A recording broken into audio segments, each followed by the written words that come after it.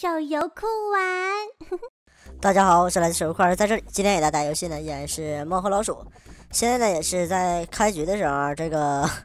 呃，也是老套路，在这个洞口放这个老鼠夹，然后也是成功抓捕到了自身的一个猎物。呃，今天从今往后呢，也会给大家稍微介绍一下关于这个各个猫或者是各个老鼠的一个对比以及使用方式啊，是比较详细的一个介绍，然后可能会生就是变成上下两部分啊，这样的话呢，说的会比较多。呃，目前来说呢，其实从这把来说，这个我玩的这个是汤姆，汤姆是原始类型的啊，原始类型之后呢，其实它的一个优点，我个人认为啊，呃，比较明显的一个优点就是它自身具有一个呃在远程。可以去进行输出的这么一个技能，就是这个长爪。第二点呢，就是它自身的一个一技能的一个防控制的这么一个效果。但是呢，啊，原始汤姆的一个优缺点，其实在这种正常的一个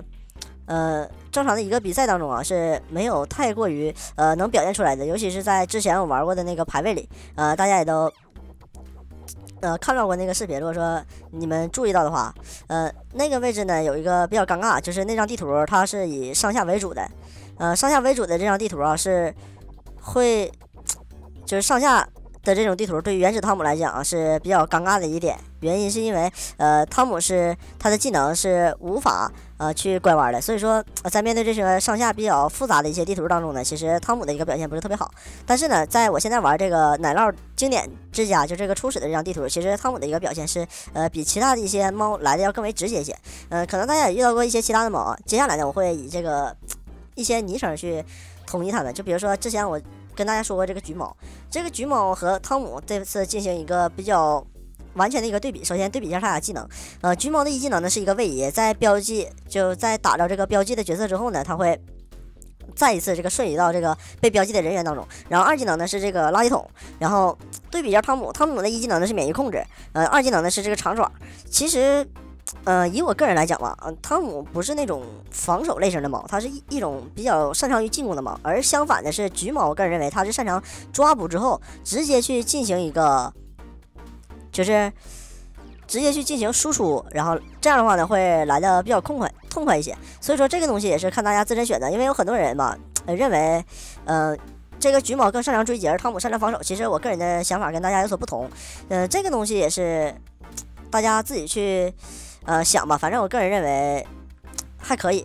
呃，但是目前来说呢，有一个比较尴尬的地方，就是橘猫和汤姆对比的话，其实他俩自身有一个很大的问题，就是他俩 其实都是属于初始大家比较常用的这么两个角色吧。呃，但是呢，嗯，给大家的感受都不是特别一样。就比如说，呃，很简单，这个初始汤姆呢，可能对于大家来讲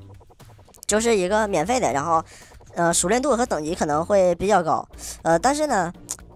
如果说大家初始的话是一个杰瑞，就是。不是杰瑞，是那个我们所用的这个橘猫的话，那么其实大家的感受就不太一样了。有很多人就会认为啊，那这个橘猫好用，这个是因为大家的一个收益点不一样。这个收益点的不一样呢，在于呃我们在玩的时候会发现，呃我们等级熟练度比较低的角色，首先第一点啊，这个它的自身的携可携带的技能比较少，就比如说细心、长爪，然后坚挺这种技能，其实它都带不了。